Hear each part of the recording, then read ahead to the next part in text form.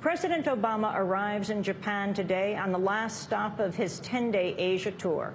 Obama will attend the Asia-Pacific Economic Cooperation Summit amidst a dispute with the Japanese government over relocating the U.S. military base in Okinawa. Obama comes to Japan after South Korea, where he failed to finalize a long-stalled free trade deal. Before leaving Seoul, Obama defended last week's $600 billion move by the Federal Reserve to buy up government bonds. Obama rejected critics' claims the U.S. is waging a currency war by devaluing the dollar. My simple point is to say that um, from everything I can see, this decision was not one designed to uh, have an impact on the currency, on the dollar. It was designed to grow the economy. And there's some uh, legitimate concern uh, that we've had very low inflation, that a huge danger in the United States is deflation.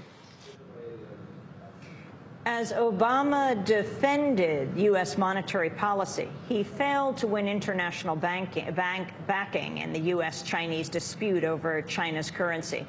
The U.S. has accused China of artificially manipulating the price of the yuan for economic gain. On the economic front, President Obama said he remains opposed to Republican calls for extending the Bush-era tax cuts for the wealthiest Americans. But he suggested he may compromise to ensure the cuts are preserved for those making less than $250,000. With respect to the Bush tax cuts, uh, what I've said is that I'm going to meet with uh, the, both the Republican and Democratic leaders uh, late next week, and we're going to sit down and discuss uh, how we move forward.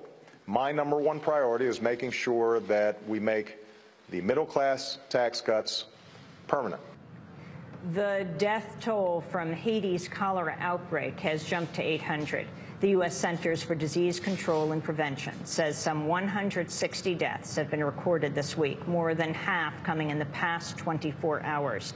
The number of infections has also grown to 11,000. There are fears the disease could rapidly spread through the teeming camps for earthquake survivors around the capital, Port-au-Prince. On Thursday, hundreds of residents demonstrated in the Port-au-Prince neighborhood of Cité Soleil to protest the response to the outbreak. A nurse in Cité Soleil said the number of infections is growing by the day.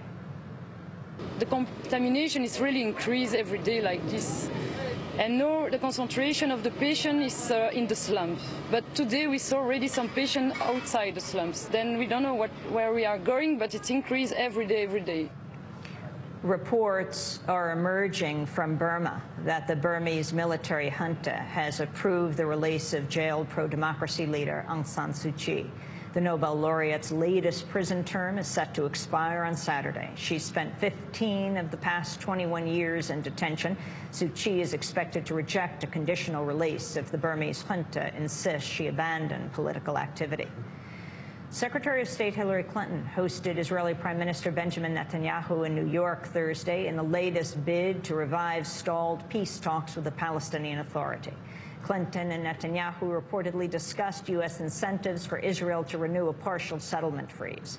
Last month, Israel rejected an Obama administration offer to back Israel's insistence on maintaining a long-term military presence along the eastern border of a future Palestinian state. The U.S. also offered Israel military equipment and a pledge to veto UN resolutions on Arab-Israeli peace for at least a year. Netanyahu reportedly rejected the proposals, even though the administration had asked for only a two-month extension of the freeze.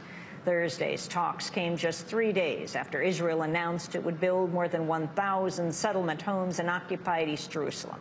Appearing with Netanyahu before the meeting, Clinton avoided mention of the latest settlement construction. We're going to be talking about everything, and I will save my uh, comments uh, beyond what I've already said to talk with the Prime Minister. I'm very pleased to be here and to have this opportunity to discuss with him how we're going to move forward in the process. Wall Street firms are reportedly exploiting a loophole in financial reform legislation to continue the practice known as proprietary trading, in which banks trade financial securities from their own commercial accounts. Former Federal Reserve Chair Paul Volcker had proposed the curbs to help undo some of the damage of the 1999 repeal of the Glass-Steagall Act, which had ensured the separation of commercial and investment banking. But according to the Financial Times, banks have continued the practice because the Volcker rule excludes principal investments or long-term direct purchases of securities and assets. A new DNA test has shown that a Texas prisoner executed 10 years ago was convicted on insufficient evidence.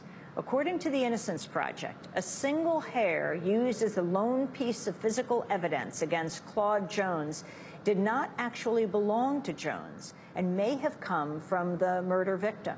Jones was put to death on December 7, 2000, in the closing weeks of the George W. Bush's term as governor in Texas. The Innocence Project says Bush's aides failed to inform him Jones was seeking genetic testing on the hair strand. Had the test been granted, the prosecution would not have had sufficient evidence to convict Jones under Texas law. The case was already thrown into doubt in 2003 when a key witness recanted his claim that Jones had confessed. In his five years in state office, Bush presided over the most executions of any U.S. governor in modern history. A coalition of media groups is criticizing the Fox Business Network for hiring the former CNN host Lou Dobbs for a new television program. Dobbs has been called the most influential spokesperson for the anti-immigration movement, and his journalistic practices have come under intense criticism. In a statement, the group's Media Matters for America, America's Voice, said, quote, Lou Dobbs spent years pursuing a dangerous crusade against immigrants, and his last few months there were dedicated to pushing ridiculous conspiracy theories about the president's birth certificate. That style of, quote, journalism may be par for the course at Fox, but that doesn't make it right, they said. And finally, democracy